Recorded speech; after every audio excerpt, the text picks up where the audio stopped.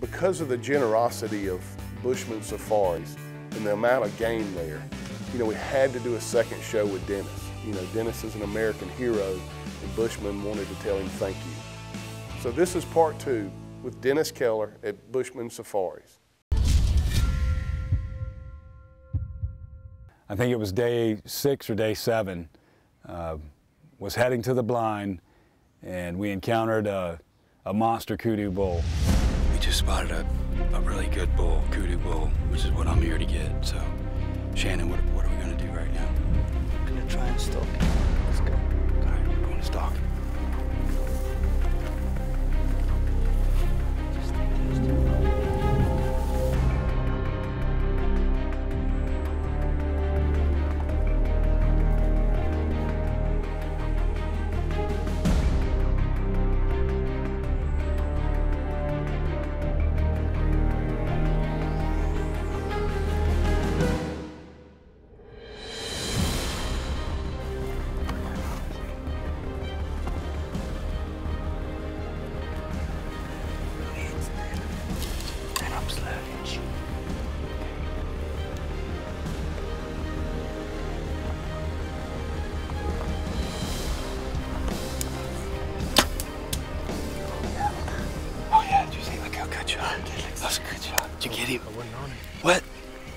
Made a good shot at 40 yards.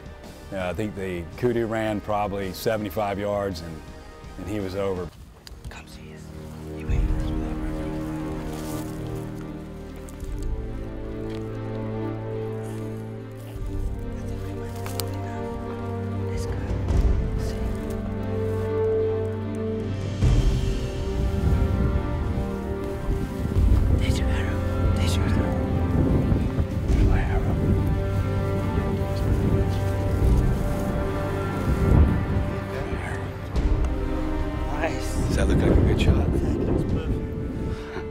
Oh my gosh.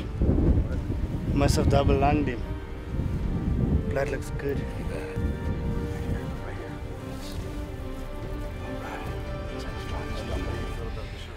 I think it was a great shot. Yeah, I I think it was a double lung shot. Perfect placement. Oh God, he found it. He found it.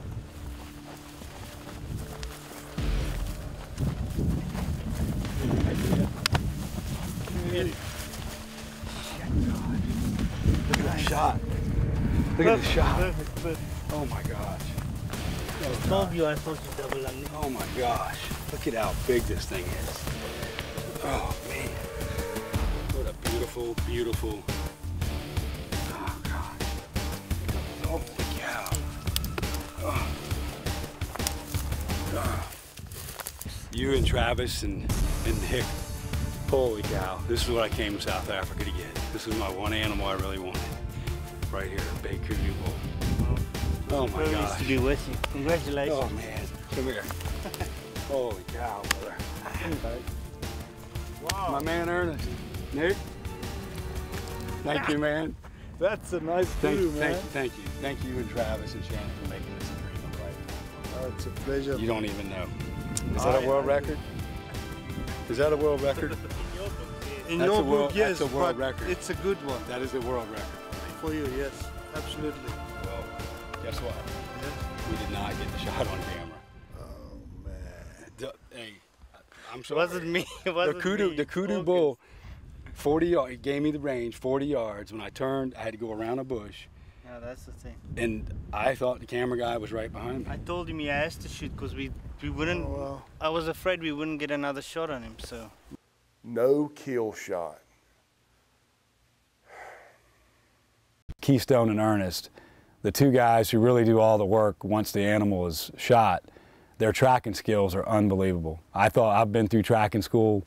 I can't touch them. They are unbelievable what they can do out there in the field. Hey, Keystone and, and, and Coke, Ernest. Hey, one of the things I wanted to, to say was a lot of people don't capture the behind the scenes footage of what happens to this big animal once the kill is done. You guys prep it, take it back, skin it, do all the stuff. So I've got a couple of, of gifts I want to give you two to me for making this such a special moment for me, okay? Okay. So what I've got is, because you're trackers, good trackers, right? Yes. You track my bull. There's a tracking flashlight set Thank you. for you. And I have a tracking flashlight set for you. Thank you very much. And I have two, two very special hats because when I got here, the warm welcome that you guys gave me from South Africa, you know, even though we're from America, the United States, these are a symbol of military things that we wear when we go over and fight in the global war on terrorism. So I want to give you each, and it matches your shirt perfect. Thank you. See that? Thank you very much. Put it on. You got to put it on, man. Give me that brownie. You don't want brownie. All right. Give me some of that. All Thank right. you very much. Thank you guys so much.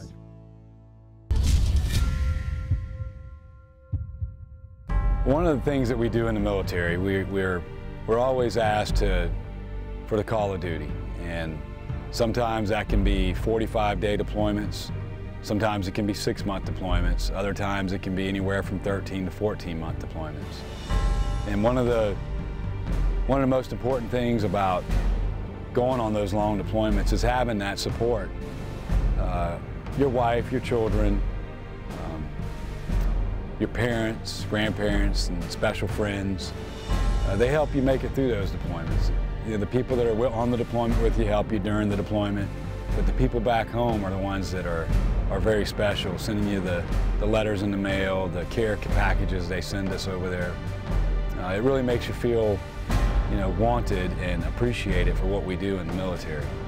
This is to show that the ones left at home, the families, are heroes too. day eight. I think it was day eight. We were out, and again, I went out that morning strictly looking for a gemsbok, nothing else.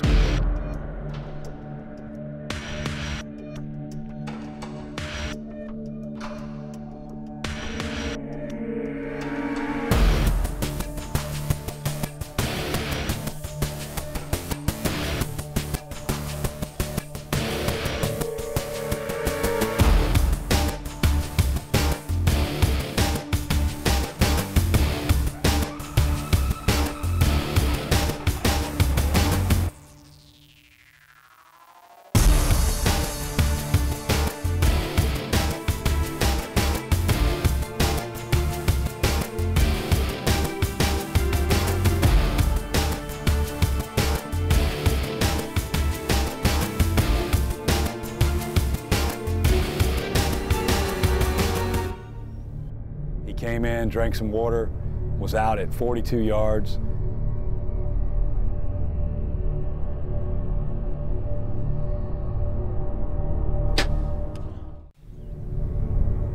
He came in, drank some water, was out at 42 yards, and he stopped perfectly broadside.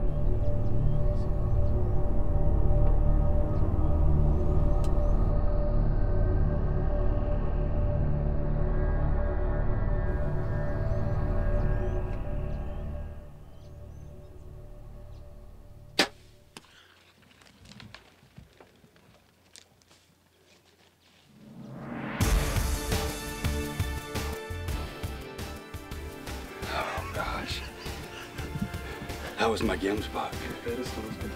Huge male. Huge male gemsbok. We've had two days of rain. It's just been very, very slow.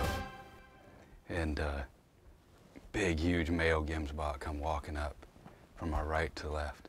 40 yard shot.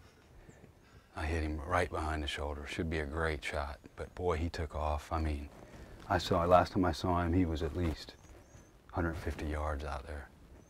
So, with luck, with luck, he's he's down, at least out there. Whew. These African animals are so tough, and bow hunting at Bushman Safaris couldn't be a better experience. I mean, whether you're a, a new bow hunter or experienced bow hunter, this place is top notch. I think I made a good shot on him. No, you don't do that. Oh, oh, you don't do that. Okay. I, th I, think we made a good shot on him. It's a nice male given spot. Good. So I've been worried about the shot and we've rewatched it. So Did the salt look? He didn't come around to the salt. He was on this side over here and walked around to the front here and stopped perfectly broadside. Oh, well, he was on his way to the salt, so.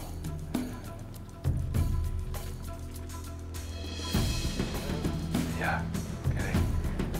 So that's, there's the arrow. We've all done it, making that classic mistake, getting out of that blind too soon. You know, you're in Africa, first time you've ever been there, you want to go find that animal. all right, so we found the spot here. We've got some, got some blood right down here. It's kind of frothy, which means that's at least one lung. I think the shot was just a little far back. But Nick's got confidence, we'll find it. The gemsbok laid down, they bumped him, and they had to go a little bit farther. I told him when you lost the track for a while, it's a good thing. It makes him bear down. Okay. I don't know what to say. I'm, s- I'm still sick till I get my hands on him. My big gemsbok bull. Congratulations, my friend. thank you so much, Nick. You and Bushman Safaris and Travis once again. Wow, this place is unbelievable for a bow hunter. And your trackers, give them a pay raise. Whew.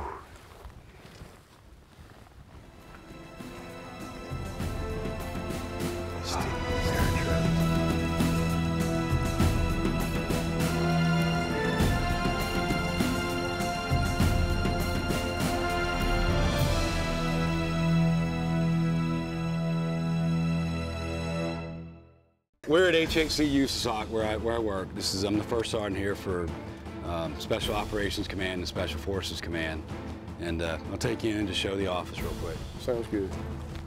Hey, Sergeant Major, what's up? What you doing, man? You taking off? Yep, heading out on Saturday. Where are you heading to? Iraq, Jip, Baghdad. Gypsy, that's right. Yeah. Okay. You're gonna be you gone for a year? A year. Be back May next year. Hey, this is John John Wilson. Wilson. Hey, Um, John, good to meet you. These, these are the guys that uh, just provided the uh, the hunt for me to Africa that I showed you. Um, You know, basically sup- trying to support the military and all the stuff that we do. And you're, you're leaving for a year, Yep. so You're leaving tomorrow. Yeah, but I'll change and go with you to Africa if you can go. yeah. Gosh, well, That's well, it. thank you for all you do for us. Thank you. Well, you're welcome. I, I thank you for your appreciation. be safe, brother. Be safe for I sure. That is as real as it gets. John, this is uh, Mr. Ben Campbell, a very special guy to me. This is my Hey, best. This is my you best friend. All right. 23 years in the Army. My best friend, uh, Command Sergeant Major John Campbell. This is his son Ben. I remember when he was born. Um, remember him as two, three-year-old, running around, first starting to talk, telling us about the rat running around the refrigerator and up the side and this and that. Well, Ben just graduated Q course uh, November of last year, 2010. So we got a new Green Beret joining the regiment. Um, Proud to be here. Yep, heading to uh, 7th Special Forces Group to do what, do what we do. Well, thank you for what you do. Thank you, John. Thank you. Means a lot. It really does. Well, hey, John, you know, man, I, again, I know I gave you some stuff down in Africa, but now you're like on my home turf.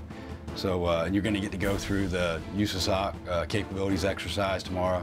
So you're going to get to see uh, the USASOC parachute team jump in tomorrow morning.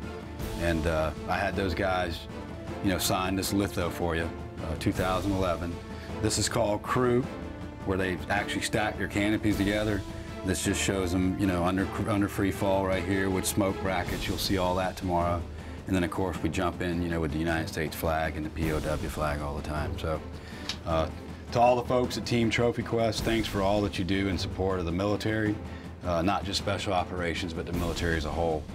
Um, signed by me, the USASOC First Sergeant. Really appreciate it, man. Dennis. I Appreciate it. All right, brother. Thank you. You know, when we went to Fort Bragg on invitation from Dennis, and we walked around with Dennis, you could just feel and see the earned respect that his men had for him. All right, so basically where I've got you now, John, is we're out here on uh, Meadows Field, and what we're looking at here, this is Bronze Bruce. This is a symbol of, of everything that Special Forces stands for. The Green Beret you were asking me about earlier, symbol of excellence, badge of courage, mark of distinction in the fight for freedom. And again, the Green Beret was awarded to us by President John F. Kennedy. You know, we were in this mock village watching a training exercise, and um, you know, I heard a noise kind of like thunder behind me, and I turned around, and when you saw these U.S. Army helicopters coming over at tree level.